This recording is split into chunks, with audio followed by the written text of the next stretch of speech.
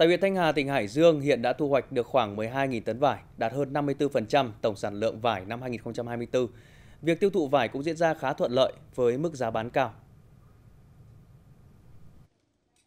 Các trà vải tại Thanh Hà, tỉnh Hải Dương đã thu hoạch vải u trứng trắng, u gai, vải tàu lai và u hồng, bán với giá ổn định là 30.000 đồng một kg, cao hơn cùng thời điểm năm ngoái khoảng 12.000 đồng một kg. Năm nay sản lượng vải không nhiều nên vải có đến đâu bán hết đến đó. Vải Thanh Hà hiện được xuất khẩu tới các nước như Trung Quốc, Úc, Nhật Bản, Canada, Pháp, Mỹ, Hàn Quốc, Singapore, Anh và Thái Lan. Tỉnh Hải Dương hiện có gần 8.900 ha trồng vải, trong đó huyện Thanh Hà có hơn 3.200 ha với hơn 42 vùng trồng Việt Gap và 11 vùng Global Gap. Tại một số địa phương vùng trọng điểm trồng quả vải thiều khác như là Hưng Yên, Bắc Giang, nông dân cũng đã bắt đầu bước vào chính vụ thu hoạch quả. Sản lượng năm nay ước đạt trên 100.000 tấn, trong đó thì có khoảng 1 phần 3 sản lượng sẽ được xuất khẩu sang thị trường Trung Quốc qua cửa khẩu quốc tế đường bộ số 2 Kim Thành. Và vào những ngày này thì các đơn vị chức năng của tỉnh Lào Cai đang tăng cường phối hợp, tạo điều kiện tốt nhất để trái cây này thông quan thuận lợi. Để bảo đảm không ùn tắc, lực lượng chức năng tại cửa khẩu Kim Thành tỉnh Lào Cai như bộ đội biên phòng, hải quan đã tăng cường thêm quân số có mặt trước giờ mở cửa gần một tiếng, kịp thời hỗ trợ cho các doanh nghiệp, đồng thời phân luồng phương tiện di chuyển vào khu vực tập kết hàng xuất khẩu, bảo đảm các xe chở quả vải tươi được xuất khẩu sớm nhất, nhanh nhất và kết thúc ngay trong buổi sáng.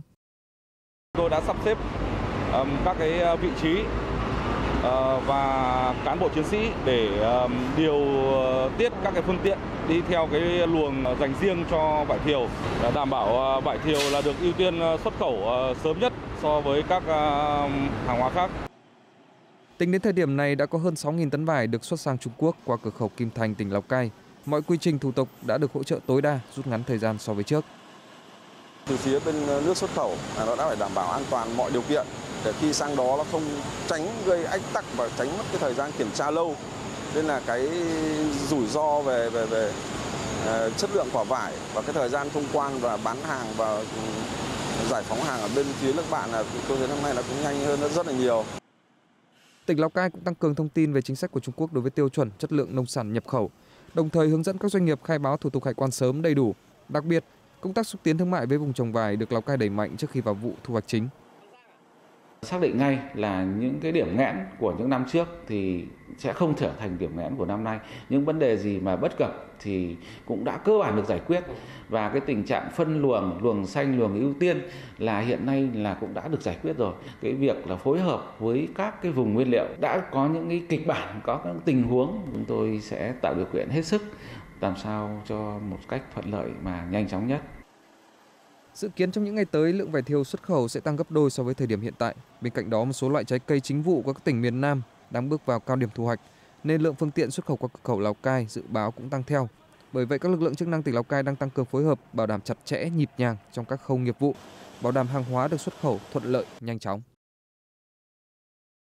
Theo số liệu vừa được Tổng cục Thống kê công bố cho thấy, giá tiêu dùng tháng 5 tiếp tục tăng nhẹ so với tháng trước. Bình quân 5 tháng đầu năm, chỉ số giá tiêu dùng CPI đã vượt qua mức 4%.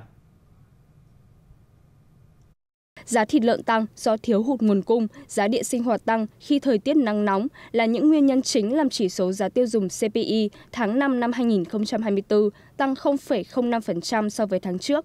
So với tháng 12 năm 2023, CPI tháng 5 tăng 1,24% và so với cùng kỳ năm trước tăng 4,44%.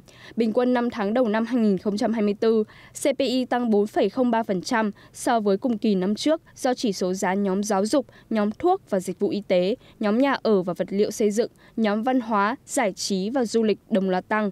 Bình quân 5 tháng, lạm phát cơ bản tăng 2,78% so với cùng kỳ năm 2023, thấp hơn mức tăng 4,03% của CPI bình quân chung do giá lương thực, xăng dầu, dịch vụ giáo dục và dịch vụ y tế là những yếu tố tác động làm tăng CPI nhưng thuộc nhóm hàng được loại trừ trong danh mục tính lạm phát cơ bản.